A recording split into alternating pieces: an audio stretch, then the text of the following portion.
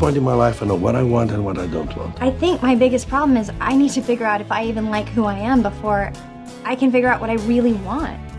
Why haven't you been married? It's too old fashioned. Studio sent this over. It's just this mommy thing is not the sexiest time of my life.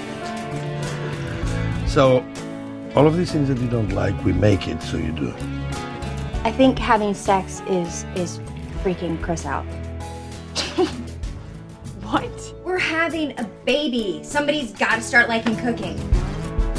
If you don't make eye contact, it's bad luck. You moved out like a month ago, remember?